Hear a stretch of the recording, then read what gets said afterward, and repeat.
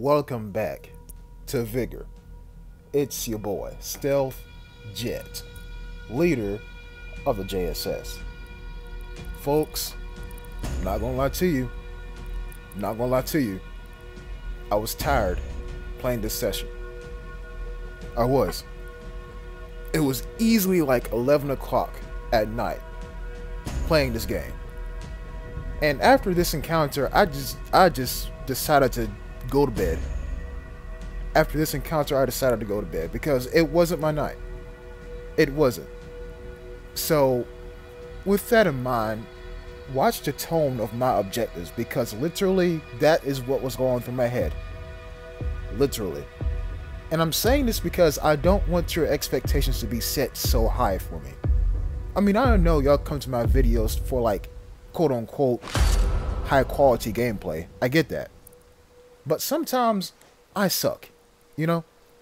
And if you want some evidence of the evidence of that, check out my second channel on some of my streams. But hey, nobody's perfect. We're all human here. Even though I identify as a F-22 uh, Raptor. Anyways, okay.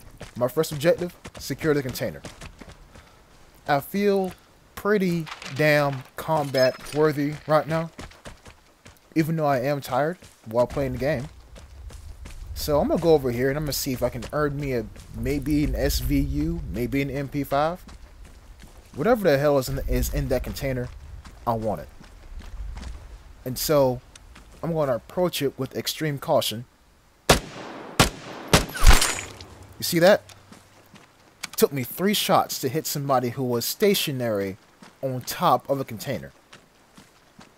See that? And in my in my opinion, that was more due to the animation of the body while doing the unlock thingy and not down to my shooting. But here comes somebody else. And right here they seen me. Right? Because I went up in the air for a little bit and then came back down. They saw me. And so I'm already ready for a fight, right? And you see he's right there. And I try to hit his back. It doesn't work out. He returns fire. Okay. Okay. So now I'm trying to think. What can I do? Relocate, try to get a better angle.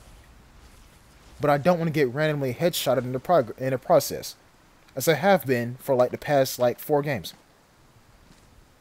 Okay. Nothing happens. I'm trying to think, how should I do this? But then he gets headshotted himself by a random player who appears in the back. Gunshots attract players, and we are fighting near the container. Makes sense, right? Cool. So now we have a bit of a dilemma on our hands. My objective remains the same. I still gotta fight for the container. I still do. And now it's spooky because, like, we don't know where that guy's at. We don't. We're just seen that he shot somebody in the corner of the map. And we hear him, but we don't see him. And my mind is flashing back to a, a to an encounter I had way back in the day. I didn't I didn't even stream it, but way back in the day. This is how far back in, far back in the day I'm talking about. That sniper rifle that ends in the number 82, it just came out. That's how far back I'm thinking. And I remember I was in the ex exact same situation. I was crawling probably to this bunker because I think I heard somebody. And the guy was laying prone right beside me as I was walking up to the bunker. Shot me. So I'm not too fond of the idea of going up to find him. But it turns out my patience is rewarded because he's behind that house. That's why I back off. I hear him.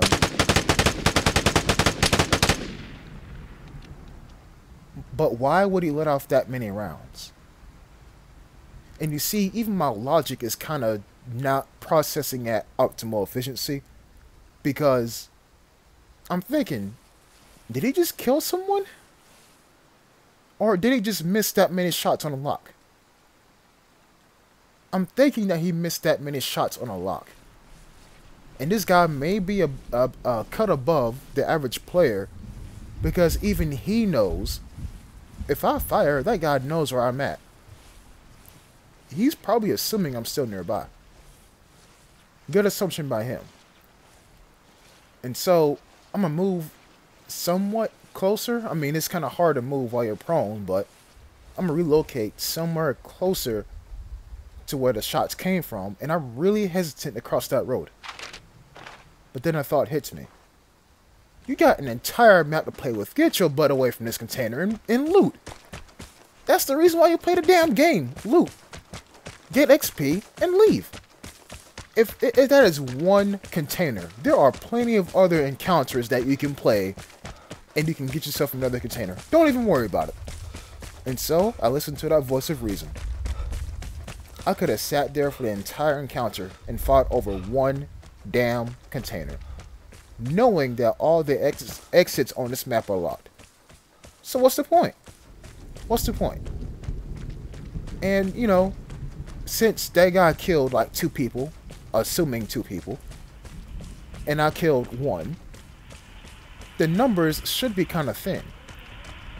And so I'm going to hit the com station first, do a bit of a dancey dance around the com station, give it a bit of time, whoever's watching the map will think, which com station are they at? Wait for a bit, then use a detector, because then they'll throw them off. Because if I use them both back to back in the same like span of 10 seconds, then they will know where I'm at. But look at this.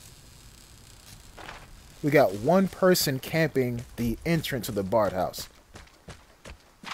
And so move a bit closer, pull off a Ghosties number one, mark where they're at mentally. But then, as an as an image of a revolver pops up in the back of my head, I can just mark where the guy's at.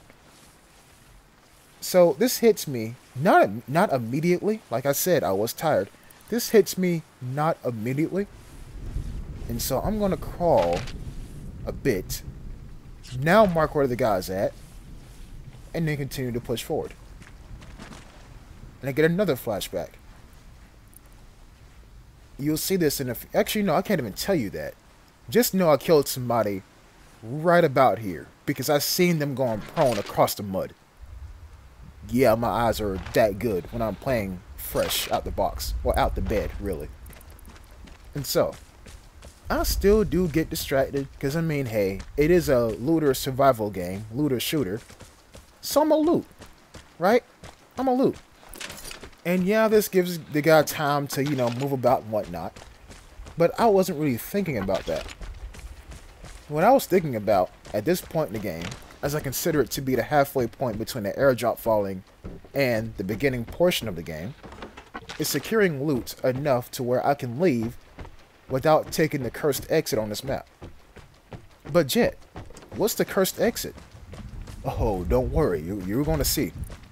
You're going to see. And so, walk up to the truck, not the God truck, but a different truck, and get some wire. Nice. So this means I'm guaranteed to have enough resources to take the exit all the way, what, northeast? I believe, the one at the top of the map where there's a boat.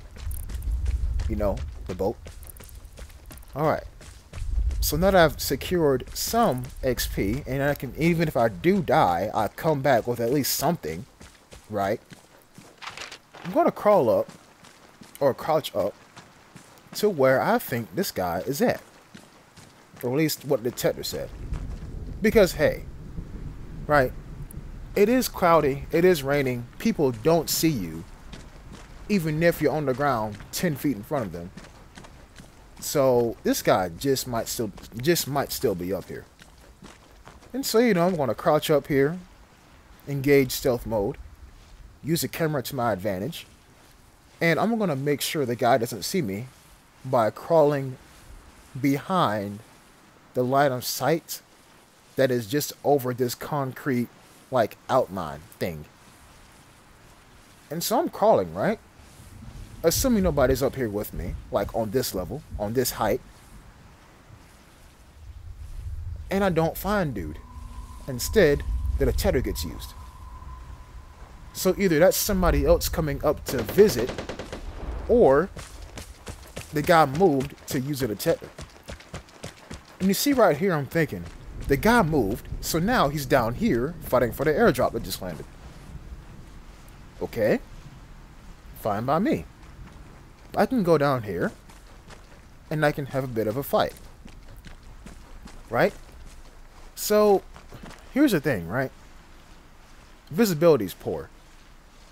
I should have gotten closer. I should have.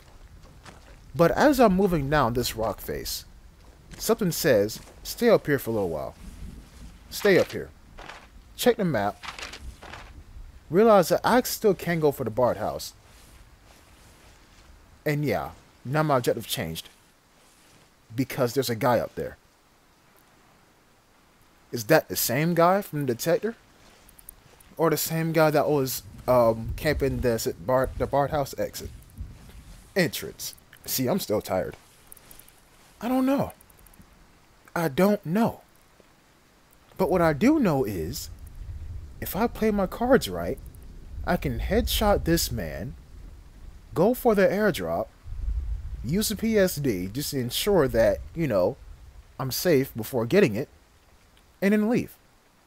Also, I did stealth the airdrop as well. So, we're going to see how all this plays out. And now I'm just watching the sky. I know, crazy. But I'm watching the sky to see if there's anything that shouldn't be in the sky there. There's a fancy way of saying I'm watching for his silhouette, his outline. And there it is. I see him, you see him. Watch this.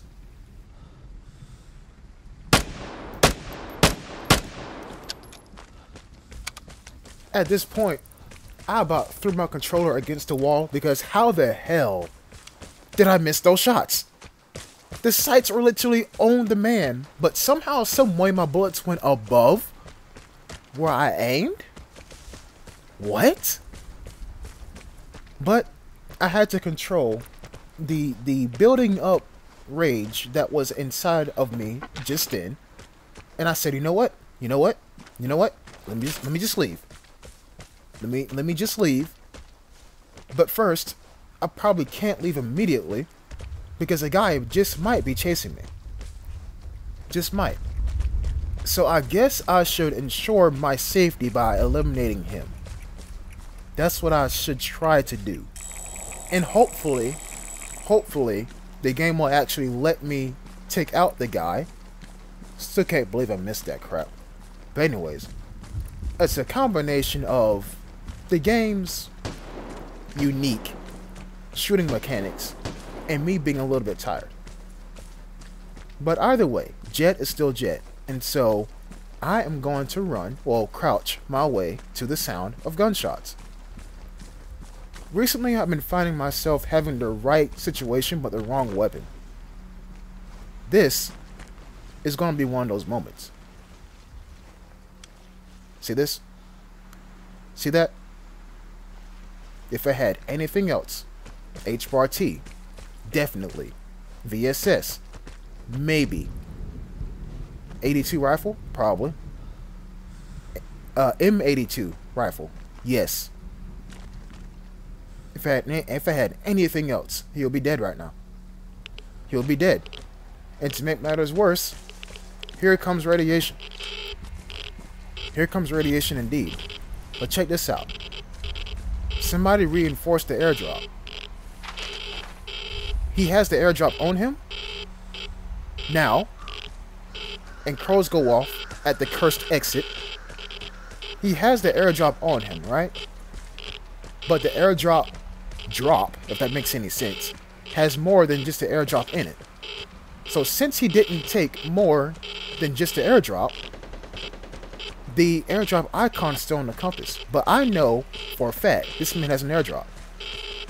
And so I'm going to chase him. And y'all know me, I'll wait for the perfect opportunity before I take a shot.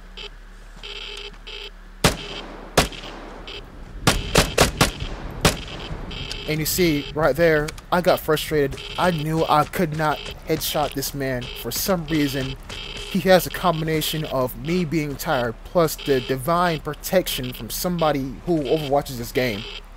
And, and yeah. So at this point, I was just exasperated. I'm just like, bro, I can't kill this man. Why not? So I decided to hang up the towel and just leave.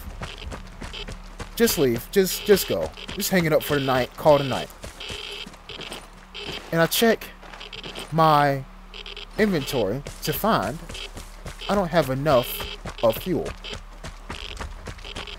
I usually want to keep like maybe 5 to 7 units of fuel on me on this map. And so I pop an iodine pill, pop, pop a PSD, and just to check, crows. Yep, still there. And I guarantee you that the, the, airdrop carrier guy, guarantee you he died. He wasn't mine to kill. But peep how I just picked up the fuel jerry can just now. I need that. And so, I'm out of here. You see, there, there. don't get me wrong, right? The game is fun. The game is fun. But sometimes there are just moments when I just want to like if this game was a cat, I just want to take that cat and throw it as far as possible. And this is one of those moments. Like, I was robbed. I was halfway robbed once. And then I got robbed twice. And the third time, what the hell? No, no, no. The second time is what the hell. Third time, I got robbed twice. If I had a VSS, this probably would have been a two kill game. Probably. But it was down to mostly me being tired. I admit that. I've I am uh, I have no problems admitting that I did play kind of bad in this game, and I did think not with the best and brightest and freshest mindset. So, I wanted to bring y'all this video because I want y'all to see I have my moments too. Like how I always stay on stream, I have my moments whenever I pull off something quote unquote spectacular. I do have my moments. And this is one of those negative moments. Now, granted, I came out of there alive, and that's all I really care about. But so much more could have been done. So much more. And so, I guess this is the reality of Jet, If that makes any sense. And you see, I make me another PSD before I head to bed. And so, there you go. By the way, this encounter was not played around this time of night. It was played like two days ago. I'll see y'all next time. Peace.